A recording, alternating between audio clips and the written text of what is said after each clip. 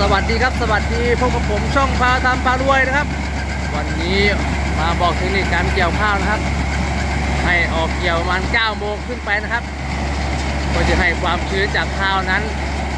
นะครับให้มันแห้งนะครับมันก็เกี่ยวได้นะครับนะเม็ดข้าวก็จะเรียงประมาณนี้นะครับนะครับให้ความชื้นจากต้นข้าวใบข้าว หรือเกาะจากข้าวน้ำค้างอยู่ตรงนี้นะครับหายนะครับมาเกี่ยว แบบนี้ก็ต้องใจเย็นๆครับ ไม่ต้องรีบมากนะครับแดดดีเท่าไรยิ่งดีนะครับ แดดแรงไงเท่าไรยิ่งดีนะครับ เพราะว่าความชื้นเวลาไปขายนะครับจะได้ราคาดีๆนะครับจะได้ความชื้นดีที่สุดเลยครับนะครับเกี่ยวไปเรื่อยครับ ไม่ต้องเร่งรีบครับ เพราะว่าข้าวไม่ล้มนะครับคนเกี่ยวขับสบายนะครับ ต้องเร่ง ช่วงนี้เป็นช่วงหน้าหนาวนะครับ เพราะว่าลมอาจจะแรงหน่อยนะครับ แต่ข้าวกระทงนี้ไม่ล้มครับ ตั้งแบบสวยๆไปเลยนะครับขนเกี่ยวแบบขับเกี่ยวสบายๆนะครับ นอนขับก็ยังได้ว่างั้นครับ ดูยาวๆครับเกี่ยวข้าวเบอร์ 95 นะครับ วันนี้สวยๆเหลืองๆเลยครับนี่สุดยอดเลยครับ ก็เป็นกำลังใจให้ชาวนานะครับ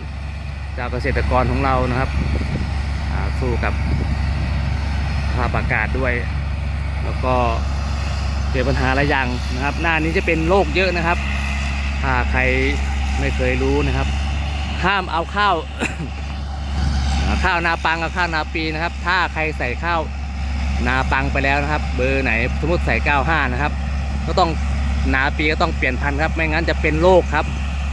เพราะว่าเชื้อรากับฟางข้าวเก่านะครับ จะทำให้แบคแบคทีเรียได้นะครับ แล้วก็จะเป็นโรคใบไหม้โรคเชื้อรานะครับทำให้ข้าวนั้นหยุดการชะงักการโตนะครับ ต้องเสียยาฉีดอีกนะครับ เพราะฉะนั้นต้องดูแลให้ดีครับ ต้องเปลี่ยนพันธุ์ครับให้ดีที่สุดนะครับงั้นก็ฝากติดตามด้วยนะครับ ช่องอาทำพารวยนะครับ ช่องของเรานะครับ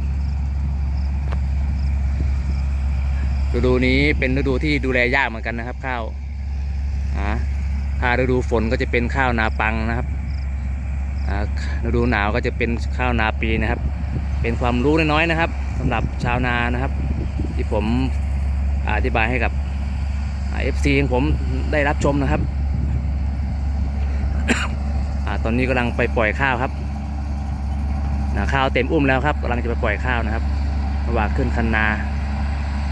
ดูนะครับ ต้องค่อยๆขึ้นนะครับ ไม่งั้นเดี๋ยวข้าวหกเสียหายนะครับ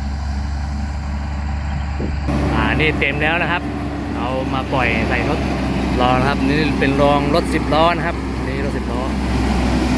อ่าเทียบข้างครับ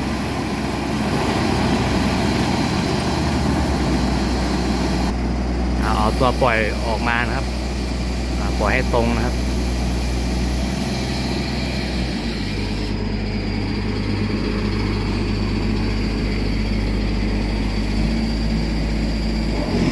จะมีใบไม้หน่อยนะครับ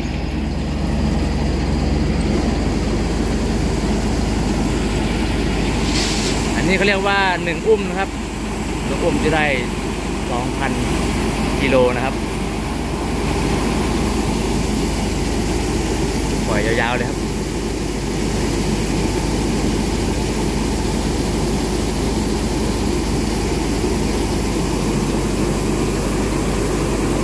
ข้าวก็จะจุกไปเรื่อยๆนะครับ